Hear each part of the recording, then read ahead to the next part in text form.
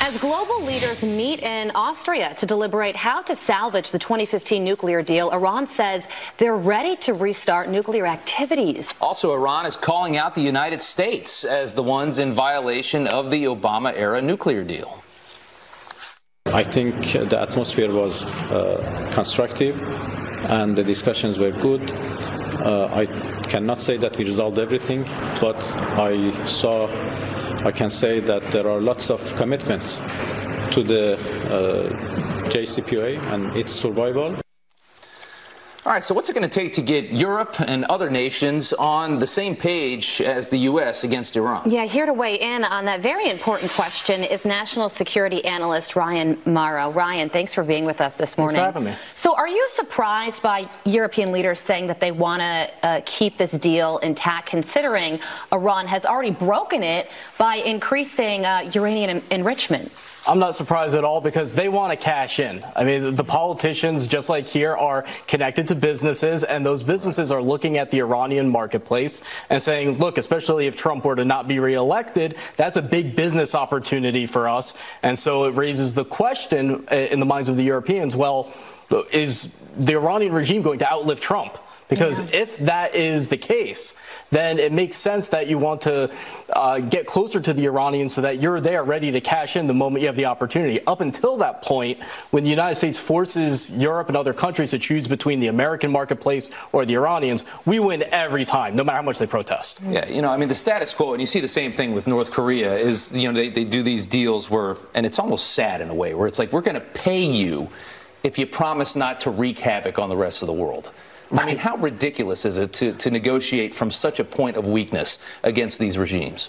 Right. So there are some voices in Washington that would say, oh, well, if we compromise and we get them to lessen their aggression in exchange for some type of deal, isn't that short term increase in security a win? I say no because I'm sick of these conflicts. I want to win. I don't think that we need to be stuck in these situations forever. And yes, some more risk comes involved with having a tougher policy, but it avoids war in the future and it gets this done with so that we don't have to pass it down to the next generation. Specifically, what I'm thinking of is the debate over how you handle the Iranian regime itself, not just its nuclear weapons program, not just the sponsorship of terrorism, because I think we need to bring back the Cold Warriors who defeated the Soviet Union and say that is the best way that you avoid military conflict. Let's end the Iranian regime peacefully. All right. So, what do you think President Trump should do? Do you think that he is capable at this point of negotiating a new nuclear deal? Absolutely, uh, because but they have to come to the table too, and they say they don't want to. Well, they publicly say that they don't want to, but that's what is to be expected because they're not going to show weakness. Behind the scenes, everybody knows that there's ways through third parties of communicating. And so I wouldn't be surprised because they're, the regime is in such a bad position right now. If one day they did come to us with a deal and they said to President Trump, look, I've got the key to you being reelected, or just to have a great legacy we will concede on nuclear weapons and terrorist groups and offer this fantastic deal. But in return, you have to betray the Iranian people and help us stay in power.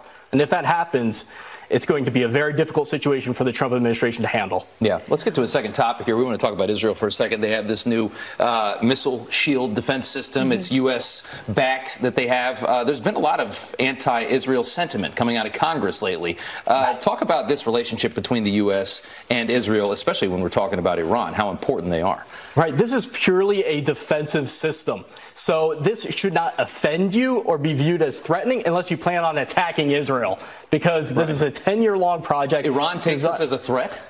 absolutely, because yeah. this is basically striking a bullet with a bullet. I mean, it's that advanced. So if you're trying to launch a nuclear attack or some other type of WMD warhead at Israel, they have the capability to destroy it. It's an amazing capability. The problem is, is that the adversaries of Israel have so many missiles that if they launch a giant attack, you're not going to be able to stop all of them, wow. but you can stop some of them. I mean, it still is a big step in the right direction. Um, are you this? I'm sure that you're not surprised by the resolution, that anti-BDS resolution that passed by almost 400 votes in Congress.